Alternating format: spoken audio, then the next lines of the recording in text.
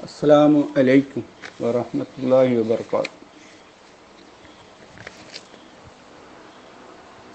നെറ്റിയിൽ പ്രകാശം പരത്തുന്ന നിസ്കാരത്തഴമ്പും വെളുത്ത നരച്ച താടിയും എന്നും പുഞ്ചിരി തൂകുന്ന വട്ടമുഖവും തോളിൽ ഒരു സാലും ഇട്ട് ശുഭ്രവസ്ത്രധാരിയായി വിനയത്തിന്റെ പര്യായമായ ഏവിയെപ്പറ്റി ഓർക്കുമ്പോൾ ഒരുപാട് ഗതകാല സ്മരണകൾ അയർവ അയവിറക്കാനുണ്ട്.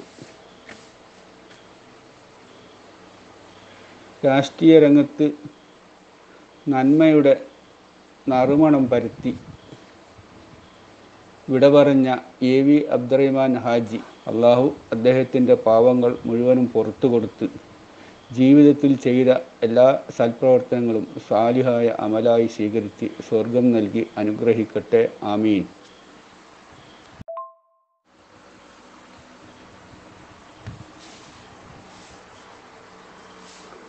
സലാലയിലെ കഴിഞ്ഞകാല ജീവിതത്തെപ്പറ്റി ഓർക്കുകയും പരസ്പരം ബന്ധങ്ങൾ കൈമാറുകയും Salalah K M C C ഇന്നും ചെയ്യുന്ന ജീവകാരുണ്യ പ്രവർത്തനങ്ങളിൽ അഭിമാനവും ആഹ്ലാദവും കാണുന്ന നാം മൺമറഞ്ഞ ലീഗ് നേതാക്കളെ അനുസ്മരിക്കുകയും ചെയ്യുന്നു എന്നുള്ളത് തന്നെ ex Salalah K M C C ഗ്രൂപ്പിന്റെ ഏറ്റവും വലിയ അഭിനന്ദനാർഹമായ കാര്യമാണെന്നതിൽ യാതൊരു സംശയവുമില്ല. അലഹമില്ല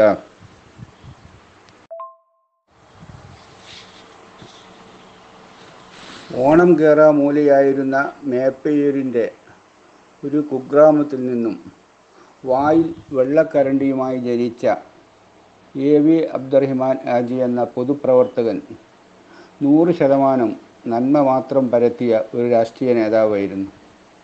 എന്നും പുഞ്ചിരിയോടും വിനയത്തോടുമല്ലാതെ എ വിയെ കണ്ട ഒരാളും നമ്മുടെ ഇടയിൽ ഉണ്ടാവുകയില്ല. കേരളത്തിലെ കമ്മ്യൂണിസ്റ്റ് ആചാര്യന്മാരിൽ പ്രമുഖനായ രാഷ്ട്രീയ ഭേദമന്യേ പ്രത്യേകിച്ച് കമ്മ്യൂണിസ്റ്റ് വിരോധം തലക്ക് പിടിച്ച വടകരയിലെ ലീഗുകാർ വരെ കേളുവേട്ടൻ എന്ന് വിളിക്കുന്ന എം കെ കേളു എന്ന അതിശക്തനായ നേതാവിനെ തന്റെ വിനയവും സ്നേഹവും കൊണ്ട് മലർത്തിയടിച്ച് ലീഗ് ചരിത്രം പുതിയതായി തുന്നിച്ചേർത്ത ഒരു വ്യക്തി പ്രഭാവത്തിന്റെ ഉടമയാണ് എ വി അബ്ദുറഹിമാൻ ഹാജി എന്ന ചുരുക്കപ്പേരിൽ അറിയപ്പെടുന്ന എ വി.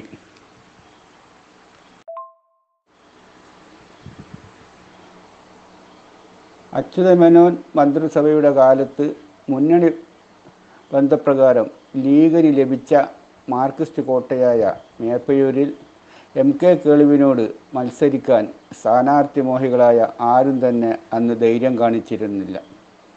കേരള രാഷ്ട്രീയത്തിലെ അതിഗായകനായ അച്യുതമേനോനെ മുഖ്യമന്ത്രി കസേരയിൽ ഇരുത്തിയ അനിതര സാധാരണമായ ആജ്ഞാശക്തിയുള്ള മഹാനായ ബാഫക്ക് തങ്ങൾ തന്റെ രാഷ്ട്രീയ കവടി നിരത്തി കണ്ടുപിടിച്ച നേതാവായിരുന്നു എ വി. ദീനി സേവന രംഗത്ത് സജീവമാണെങ്കിലും രാഷ്ട്രീയ രംഗത്ത് അത്രയൊന്നും സജീവമല്ലായിരുന്ന എ വിയെ അന്ന് പലർക്കും പരിചയമില്ലായിരുന്നു.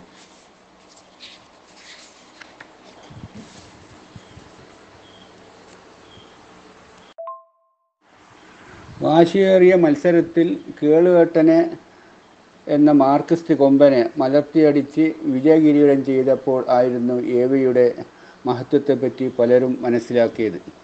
അതോടുകൂടി എ വി കേരള രാഷ്ട്രീയത്തിൽ ശ്രദ്ധേയനായ നേതാവായി മാറുകയായിരുന്നു. വികസനം എന്തെന്നറിയാത്ത മേപ്പിയൂർ മണ്ഡലത്തിൽ വികസനത്തിന്റെ വെള്ളി വെളിച്ചം കണ്ടത് എ വിയിൽ കൂടിയായിരുന്നു. പൊതു ഫണ്ടിൽ നിന്നും തന്റെ കുടുംബ സ്വത്തിൽ നിന്നും ധനസമാഹരണം നടത്തി എ വി ഉണ്ടാക്കിയ റോഡുകളും വിദ്യാഭ്യാസ സ്ഥാപനങ്ങളും തന്നെയാണ് എ വിയുടെ നിത്യസ്മാരകങ്ങൾ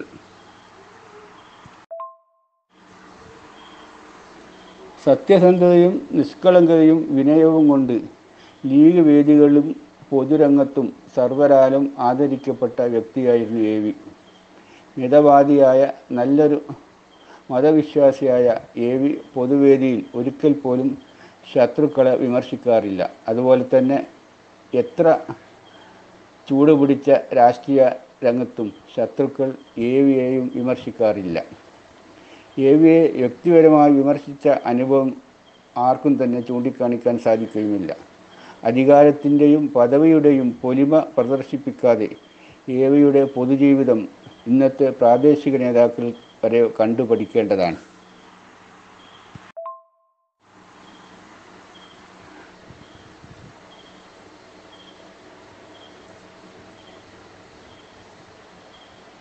അച്യുതമേനോൻ മന്ത്രിസഭാ കാലത്ത് നാടുനീളെ മാർക്സിസ്റ്റുകൾ അക്രമവും കൊലയും കൊള്ളിവെപ്പും കൊണ്ട് സംഘർഷഭരിതമായ സന്ദർഭത്തിൽ അദ്ദേഹത്തിന്റെ മണ്ഡലത്തിൽപ്പെട്ട കോട്ടപ്പള്ളി എന്ന പ്രദേശത്ത് മാർക്സിസ്റ്റ് കോൺഗ്രസ് സംഘടനം പതിവായിരുന്നു. ഒരു സംഘടനത്തിൽ പരിക്കേറ്റ കോൺഗ്രസ് പ്രവർത്തകരെ വടകര ഗവൺമെന്റ് ആശുപത്രിയിൽ എ വി സന്ദർശിക്കാൻ പോയപ്പോൾ നടന്ന സംഭവം ഇന്നും ഓർമ്മയിൽ വരികയാണ്.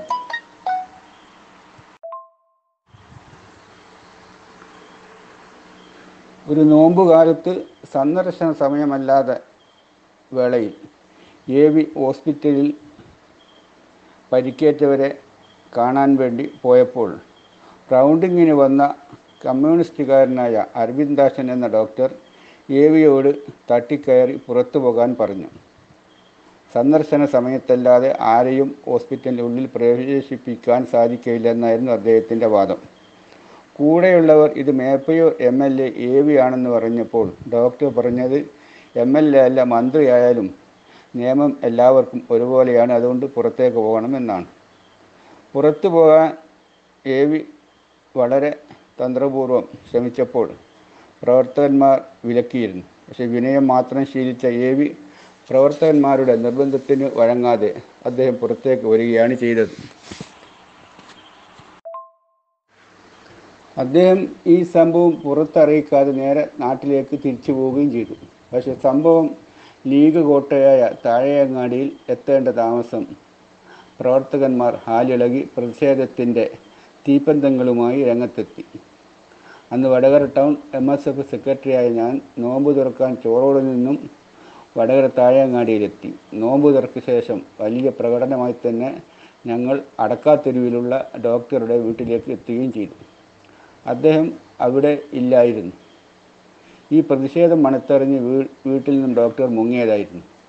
ഞങ്ങൾ തിരിച്ചു വന്ന് വീണ്ടും തറാവി നിസ്കാരത്തിന് ശേഷം സംഘടിച്ച് അടക്കാത്തൊരു ജംഗ്ഷൻ ഡോക്ടറെയും കാത്ത് അവിടെ തമ്പിടിക്കുകയായിരുന്നു.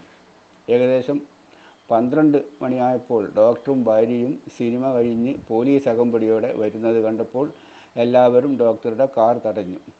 പക്ഷെ പോലീസുകാർ വളരെ സംയമനത്തോടെ ജനങ്ങളുടെ വികാരം മനസ്സിലാക്കി അഭ്യർത്ഥിച്ച പ്രകാരം പ്രത്യേകിച്ച് ഭാര്യ വണ്ടിയുള്ളത് കൊണ്ട് ഞങ്ങൾ പിരിഞ്ഞു പോവുകയും ചെയ്തു.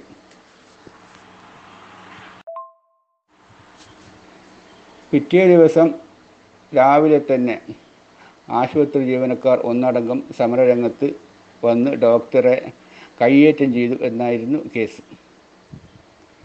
ലീഗുകാരാണെങ്കിൽ രാവിലെ തന്നെ നോമ്പെടുത്ത് ആസ്പത്രിക്ക് മുമ്പിൽ സമരപ്രഖ്യാപനം നടത്തി വമ്പിച്ചൊരു ജന റാലി തന്നെ അവിടെ നടത്തുകയുണ്ടായി. അപ്പോഴാണ് എ വി പറയുന്നത് സാരമില്ല മക്കളെ അദ്ദേഹത്തിന്റെ ഡ്യൂട്ടിയല്ലേ അദ്ദേഹം ചെയ്തത് നമ്മൾ അതനുസരിക്കുകയെ നിവൃത്തിയുള്ളൂ നിങ്ങൾ സമരത്തിനൊന്നും പോകണ്ട എന്ന്. കുത്താൻ വരുന്ന പോത്തിനോട് ആരെങ്കിലും വേദാന്തമോദമോ എന്ന് പറഞ്ഞതുപോലെ എ വിയുടെ ഈ സമാധാന ദൗത്യമെന്നും ലീഗുകാർ ഗൗനിക്കാതെ സമരരംഗത്ത് തന്നെ ഉറച്ചു നിന്നു. പിറ്റേ ദിവസം കേരളത്തിലെ മുഴുവൻ ഡോക്ടർമാരും പണിമുടക്കി സമരം ചെയ്തു. ലീവുകാരാണെങ്കിൽ സമരം കൂടുതൽ സജീവമാക്കുകയും ചെയ്തു.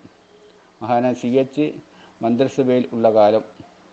വടകരയിൽ ലീഗുകാരുടെ വികാരം ശരിക്കും മനസ്സിലാക്കുന്ന സി എച്ച് അദ്ദേഹം ഡോക്ടർ സമരംമാരോട് സമരം പിൻവലിക്കാൻ പറയുകയും ഈ വിവാദ നായകനായ ഡോക്ടറെ കണ്ണൂരിലേക്കുള്ള സെൻട്രൽ ജയിൽ ആശുപത്രിയിൽ ഡോക്ടറായി സ്ഥലമാറ്റുകയും ചെയ്തു. ഇതോടുകൂടിയാണ് സമരം അവസാനിപ്പിച്ചത്. പക്ഷേ ഈ കാര്യത്തിലും എ വിക്കെന്ന് വലിയ സങ്കടമായിരുന്നു.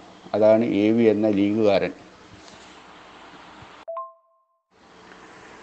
മുസ്ലിം ലീഗിലെ ദൗർഗ ദൗർഭാഗ്യകരമായ പിളർപ്പിന് ശേഷം എനിക്ക് ഏറ്റവും പ്രിയപ്പെട്ട ഒരുപാട് നേതാക്കൾ മറുഭാഗത്തായിരുന്നു. പ്രത്യേകിച്ച് ബഹുമാന്യനായ സെയ്ദുമർ ബാഫക് തങ്ങൾ കെ ഇ സാഹിബ് പോലെയുള്ള നേതാക്കളും എന്റെ അടുത്ത സുഹൃത്തുക്കളായ അന്നത്തെ വടകരയിലെ കുറേ എം എസ് എഫ് പ്രവർത്തകരും ഒക്കെ മറുഭാഗത്തായപ്പോൾ പലരും കരുതിയത് ഞാനും മറുഭാഗത്താകുമെന്നായിരുന്നു. പക്ഷേ വെള്ളം കണ്ടാൽ തയമം ബാത്തിലാകുമെന്ന് പറഞ്ഞ പോലെ സി എച്ചിനെ മനസ്സിൽ കാണുമ്പോൾ ഇതൊന്നും എനിക്ക് പ്രശ്നമല്ലായിരുന്നു. ദേവിയും പണാറത്തുമായി ഏറ്റുമുട്ടിയ തെരഞ്ഞെടുപ്പ് അന്നത്തെ രാഷ്ട്രീയ പോരാട്ടത്തിൽ ഏറ്റവും വലുതായിരുന്നു. കമ്മ്യൂണിസ്റ്റുകാരുടെ എല്ലാ കുതന്ത്രങ്ങളെയും നേരിട്ട് പൊരുതിയ ഒരു തെരഞ്ഞെടുപ്പായിരുന്നത്. എ വിയെ അക്ഷരാർത്ഥത്തിൽ തളർത്തിയ തെരഞ്ഞെടുപ്പും. പലർക്കും ഞാനടക്കം വിശ്വസിക്കാൻ പ്രയാസമായിരുന്നു പണാർത്തി വിജയിക്കും എ വി പരാജയപ്പെടും എന്നുള്ളത്. വടകര മേപ്പയൂർ മണ്ഡലങ്ങളുടെ സംയുക്തമായിട്ടുള്ള തെരഞ്ഞെടുപ്പ് റാലിയോടനുബന്ധിച്ചുള്ള പ്രകടനം ചോറോടെത്തിയപ്പോൾ ചോറോട് ഗേറ്റ് അടഞ്ഞത് കാരണം നേതാക്കന്മാരും പ്രവർത്തകന്മാരും ജാഥയിലെ അംഗങ്ങളുമെല്ലാം വിശ്രമത്തിലിരുന്നപ്പോൾ പ്രിയങ്കരനായ പണാറത്ത് റോഡ് സൈഡിലുള്ള എന്റെ തറവാട് കോലായിലിരുന്നു കൊണ്ട് എന്നോട് പറഞ്ഞത് എടാ നമുക്ക് ജയിക്കാൻ വളരെ പ്രയാസമാണ്. എന്നാലും പരമാവധി ഞങ്ങൾ ശ്രമിക്കുന്നുണ്ട്. എ വിയെ പരാജയപ്പെടുത്തുക എന്ന് പറഞ്ഞാൽ അതൊരു അത്ഭുതം തന്നെയായിരിക്കും. നമുക്ക് നോക്കാം എന്ന് മാത്രമേ ഉള്ളൂ വോട്ടെണ്ണി കഴിഞ്ഞപ്പോൾ അള്ളാഹുവിന്റെ അനുഗ്രഹത്താൽ മുസ്ലിം ലീഗിന്റെ സംഘടിത ശക്തി വിജയിക്കുകയും പണാർത്ത് വിജയലാളിതനായി എ വി പരാജയപ്പെട്ട വാർത്തയാണ് എല്ലാവരും കേട്ടത്. എ വിക്ക് ഇത് വലിയ പ്രയാസമായിരുന്നു. പ്രവർത്തകന്മാരും നേതാക്കന്മാരുമൊക്കെ നിർബന്ധിച്ചപ്പോഴാണ് എ വി പരാജയം സമ്മതിച്ചത്. വളരെ വൈകി പാതിരാ സമയത്താണ് അധികൃതർക്ക് എ വി പരാജയം സമ്മതിച്ച് ഒപ്പിട്ട് കൊടുത്തത് അതുകൊണ്ട് തന്നെ റേഡിയോ പ്രഖ്യാപനം ഏറ്റവും അവസാനം വന്നത് മേപ്പയൂർ തിരഞ്ഞെടുപ്പായിരുന്നു. വടകര ആശുപത്രി മൂന്ന് ദിവസം എ വിക്ക് വേണ്ടി സമരം ചെയ്ത വടകര താഴെ അങ്ങാടിയിലെ ലീഗുകാർ സർവ സന്നാഹങ്ങളുമായി തെരഞ്ഞെടുപ്പ് പ്രചരണം തീരുന്നവരെയും മേപ്പയൂരിൽ തമ്പടിച്ച് എ വിയെ പരാജയപ്പെടുത്താനും രംഗത്തുണ്ടായിരുന്നു. ലീഗിനോടുള്ള സ്നേഹവും മോഹവും അതിന്റെ മുമ്പിൽ വ്യക്തികൾ നമുക്കൊരു പ്രശ്നമല്ല എന്നുള്ളത് തെളിയിക്കുന്ന ഒരു തെരഞ്ഞെടുപ്പ് കൂടിയായിരുന്നു അത്. എ വിയുടെ തെരഞ്ഞെടുപ്പ് റാലിയിൽ വടകര കോട്ടപ്പുറമിൽ വെച്ച് സി എച്ച് പ്രസംഗിച്ചത് എ വി എന്ന വ്യക്തിയോട് എനിക്ക് വളരെ ബഹുമാനവും ആദരവുമുണ്ട്. ഒരു മനുഷ്യനെയും വിമർശിക്കാത്ത ദ്രോഹിക്കാത്ത നല്ലൊരു മനുഷ്യനാണ് അദ്ദേഹം. പക്ഷേ അദ്ദേഹം ചെന്നുപെട്ട കൂടാരം അത്ര ശരിയല്ല. അതുകൊണ്ട് തന്നെയാണ് ഞാൻ എ വിയെ പരാജയപ്പെടുത്താൻ ഞങ്ങളോട് ആഹ്വാനം ചെയ്യുന്നത്. മുസ്ലിം ലീഗിന്റെ അന്തസ്സും അഭിമാനവും ഉയർത്തിപ്പിടിച്ചുകൊണ്ട് എ വി എന്ന നമ്മുടെ അഖിലേന്ത്യാ ലീഗിന്റെ സ്ഥാനാർത്ഥിയെ പരാജയപ്പെടുത്തി ലീഗിന്റെ മഹാനായ പണാർത്ഥിനെ നിങ്ങൾ വിജയിപ്പിക്കണമെന്ന് വിനയത്തോടെ ഞാൻ നിങ്ങളോട് ആഹ്വാനം ചെയ്യുന്നു എന്നായിരുന്നു സി എച്ചിന്റെ പ്രസംഗം. സമ്പത്തിൽ നല്ലൊരു ഭാഗം ലീഗിന് വേണ്ടി ചെലവഴിച്ച എ വി എല്ലാം നഷ്ടപ്പെടുത്തുകയല്ലാതെ ഒന്നും നേടിയിട്ടില്ല എന്നുള്ളതാണ് യാഥാർത്ഥ്യം. പൊതു സമൂഹത്തിൽ ഇത്രയും വലിയ അംഗീകാരം നേടിയെടുക്കാൻ കഴിഞ്ഞ രാഷ്ട്രീയ പ്രവർത്തകർ വളരെ വിരളമായിരിക്കും. കോഴിക്കോട് സംഗീത ലോഡ്ജിൽ ഇരുന്ന് അഖിലേന്ത്യാ ലീഗിനെ നയിച്ചു നയിക്കുകയും ലീഗ് ഡൈംസിന്റെ ഏറ്റവും വലിയ മുതൽ മുടക്കുകാരനായിക്കൊണ്ട് എ വി ലീഗ് ഐക്യത്തിന് വേണ്ടി ഒരുപാട് ത്യാഗങ്ങൾ സഹിച്ചിട്ടുണ്ട്. ലീഗ് ഐക്യം അദ്ദേഹത്തിന്റെ ഏറ്റവും വലിയൊരു ആഗ്രഹമായിരുന്നു. ലീഗ് യോജിപ്പിന് ശേഷം പിളർപ്പിന്റെ കാലത്തുണ്ടായ ജാഹിലിയ കാലത്ത് നടന്ന ഒരു സംഭവം പോലും അദ്ദേഹം ഒരിക്കലും ഓർമ്മിച്ചിട്ടില്ല എന്നുള്ളതാണ് പ്രത്യേകം നാം സ്മരിക്കേണ്ടത്. ലീഗിന്റെ ശത്രുക്കൾ പോലും എ വിയെ ഒരിക്കലും ജീവിതത്തിൽ കുറ്റപ്പെടുത്തുകയോ വിമർശിക്കുകയോ ചെയ്തതായി നമുക്ക് ആർക്കും തന്നെ ചൂണ്ടിക്കാണിക്കാനും സാധിക്കില്ല. അദ്ദേഹത്തിന്റെ എല്ലാ പാവങ്ങളും അള്ളാഹു പുറത്തു കൊടുത്ത് നല്ല എല്ലാ പ്രവർത്തനങ്ങളും സാലിയായി അമലായി സ്വീകരിച്ചുകൊണ്ട് സ്വർഗം നൽകി അനുഗ്രഹിക്കുമാറാകട്ടെ. ആമീൻ. അദ്ദേഹത്തെ നാം എല്ലാവരെയും നാളെ ജന്നത്തിനെയും അള്ളാഹ് ഒരുമിച്ച് കൂട്ടി അനുഗ്രഹിക്കുമാറാകട്ടെ. ആമീൻ. മറ്റൊരു കാര്യം കൂടി ഈ സന്ദർഭത്തിൽ ഉണർത്താനുള്ളത് ബഹുമാന്യായ താക്ക അഹമ്മദ് മലവിയുടെ സഹോദരി ഭർത്താവ് കോവിഡ് ബാധിച്ച് മരിച്ച വിവരം അറിഞ്ഞ് വ്യസനിക്കുന്നു. ഇന്നായില്ലായോ ഇന്നാലി റാജുവിൻ ഈ ദുഃഖത്തിൽ അദ്ദേഹത്തിന്റെ കുടുംബത്തിൽ നേരിട്ട ഈ ദുഃഖത്തിൽ നമ്മുടെ ഈ വാട്സപ്പ് ഗ്രൂപ്പിന്റെ എല്ലാവിധ ദുഃഖവും അനുശോചനവും രേഖപ്പെടുത്തുന്നു. പരേതന്റെ കബറിടം അള്ളാഹു വിശാലമാക്കി കൊടുക്കട്ടെ. ആമീൻ. പാപങ്ങളൊക്കെ പുറത്തു കൊടുത്ത് സ്വർഗം നൽകി അനുഗ്രഹിക്കുമാറാകട്ടെ. ആമീൻ. കുടുംബത്തിന് അള്ളാഹു ക്ഷമ നൽകി അനുഗ്രഹിക്കട്ടെ എന്ന് പ്രാർത്ഥിച്ചുകൊണ്ട് നിർത്തുന്നു. അസ്സലാമു വറഹമത്തല്ലാഹി വാത്തു